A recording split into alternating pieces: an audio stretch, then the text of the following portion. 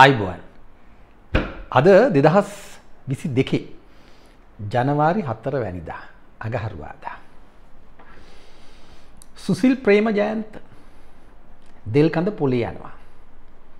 එතකොටම ජනමාධ්‍ය වාර්තාකරුවෙක් ප්‍රශ්නහනවා. මෙන්න ජනාධිපති ගෝටාබේ රාජපක්ෂට යක්කු නැගලා සුසිල් ප්‍රේමජයන්තව අයින් කරනවා. මෑන් ජනමාධ්‍ය කැමරා ඉදිරි කාර්යාලය අස්පස් කරගෙන කාර්ය මණ්ඩලය භාරදීලා ජනමාධ්‍යයට කතා කරලා හෙ හේ ත්‍රීවිලර එකකින් ගෙදර යනවා. කාටද මේ ගොම් පාඩ්දාන්නේ ඩොක්ටර් සුසිල් ප්‍රේමජයන්ත අපි කොල්ලගේ හැටි හොඳට දන්නවා. ඔව හොඳයි කොන්්ඩෙ බැඳපු චීන්නුන්ට කොන්්ඩ බැඳපු චීන්නුන්ට. මොකක්ද මේ නාඩගම. සුසිල් නාඩගම. සුසිල් කෝලම සුසිල් රිලා නැටුම ඕන විදිහකට විග්‍රහ කරගන්න පුළුවන්. මේ රටේ කේදවාචකය මේසේ මත තබා පරීක්ෂා කරන විට. සුසිල් ප්‍රේමජයන්ත ඒ කතාවේ ඒ කේදවාචකයේ එක ප්‍රධාන වග උත්තරකරුවෙක්. අවුරුදු කියද්ද.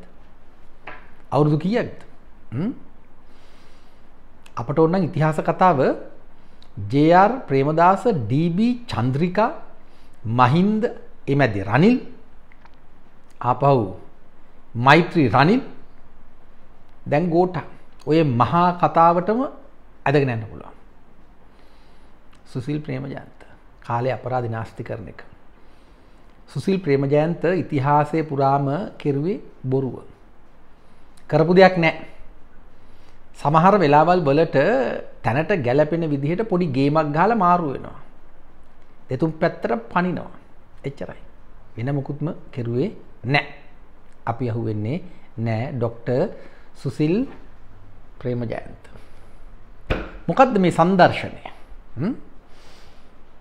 ඒ වගේම අද පෙරටුගාමි සමාජවාදී පක්ෂයේ ප්‍රචාරක ලේකම් දුමින්ද නාගම්ම අත්අඩංගුවට ගන්නවා. අධිකරණයට අපහාස කරුවා කියලා. මිනිස්සු හොල්ම හොල්මන් කිව්වට හොල්මන් නෑ.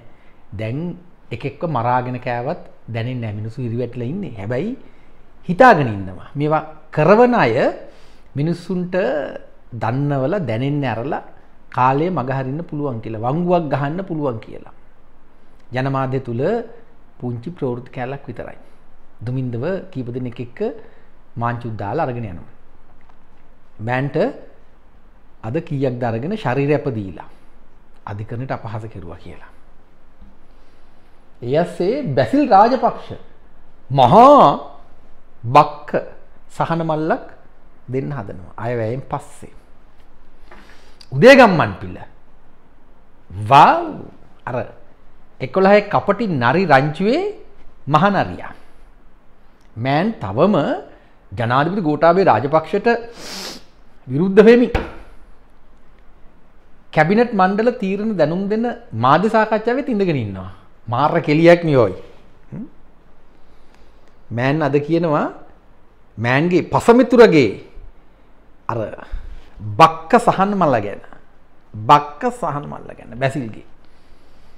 ඔවු ඉතින් ඒ අපි දෙනවා මේ ඒක මේ මිනිසුන්ට ලානයක් ලැබෙන් වගේ කියලා අනම්මනන් කියනවා මිනිහ දන්නෙත් නෑ මොනවද කිව්වේ කියලා.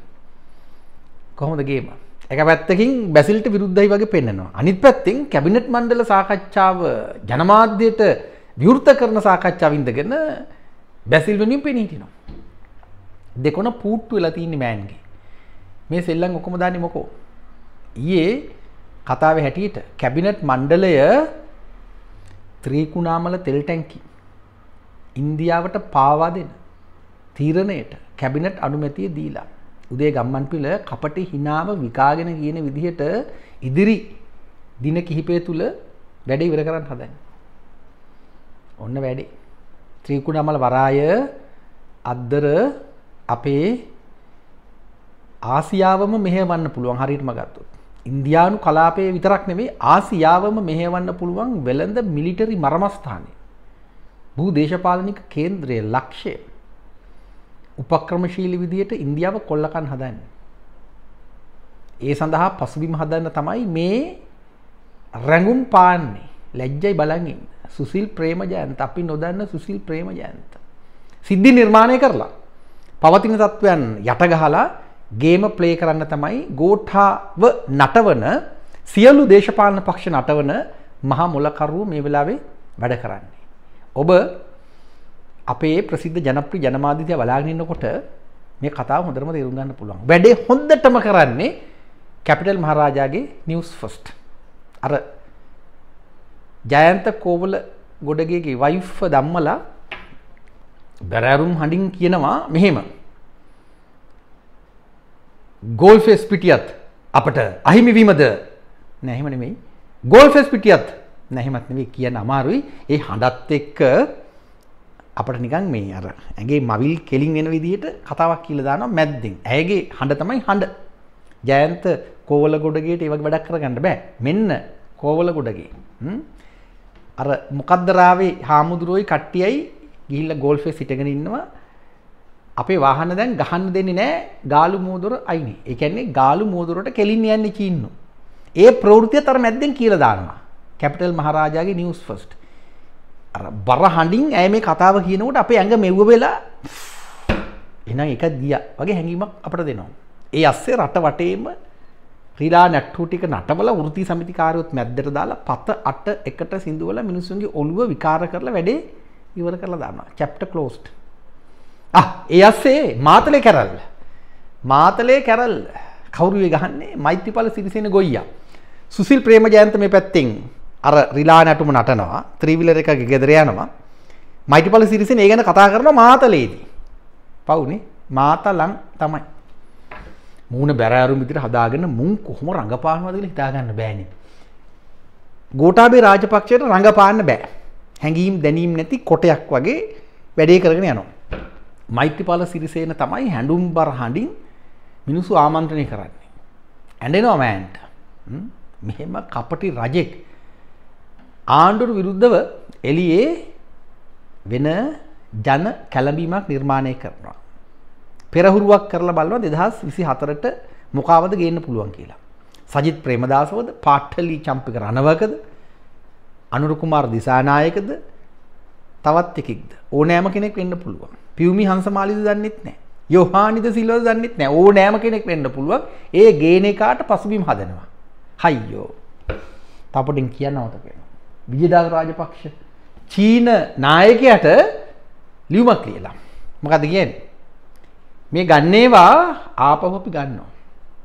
සෙලෙන්දිවා ඒවට මත තියන්න එපා ගත්තොත් අපි ගන්න කොහොමද ගන්න ඊළඟ ජනාධිපතිවරණය අපි තියන්නේ ජනමත විචාරණයක් හැටියට. මොකද ජනමත විචාරණ? දීපු ආයි ගන්න කැමති නම් අහවලාට ඡන්ද දෙන්න. ඉතින් මිනිස්සු ඡන්ද දානවා. මොකෝ? දීපුව ගන්න. කොහොමද? වැඩි. කප්පටි නරි රාලල එකතු වෙලා ඒ වචන හරියන්න නරියෝ පව්. නරිය නෙමෙයි. රිලව් ඒත් පව්. අප්පුහාමි අප්පුහාමිනිල ඒත් පව්. පරයෝ පරට්ටිය. මුන් ඔක්කොම එකතු වෙලා බොරු රැඟුම් රඟල රටට කෙලවන මොහොතක අපි මේ ගැන කතා කරන්න හොඳට මතක තියාගන්න මේ සියලු නැටුම් මැද්දේ ගෝටා මහින්ද බැසිල් උදය PB SR සේදර තව ඉන්න මේ සංකේතාත්මක කළු වලල්ලක් මුන් එකතු වෙලා ත්‍රීකුණාමලයට වැඩේ දෙන්න යන්නේ. ඒ අසර මොකද්ද සහන ක්‍රමයට පොලිසියට ජීප් රතයි අපිට යන්න බස් රතයි ගේන්න යනවලු. අමාරු පාරවල් දි කියන. නොදකින් මෙහෙම පරයෝ පරට්ටියෝ. කල්පනා ඕ නෑම දෙයක් වෙන්න පුළුවන් සුසිල් ප්‍රේමජන්තලාගේ එක්කෝ නරි රැඟුම් එක්කෝ රිලා නැටුම් එක්කෝ කෝලම් වෙන කැමති වචනයක් දාගන්න. එව්වට නම් රැවටෙන්න එපා. ඩොක්ටර් සුසිල් ප්‍රේමජයන්ත අපි ඔබට නම් රැවටෙන්නේ නැහැ. පව් කොල්ලා පව්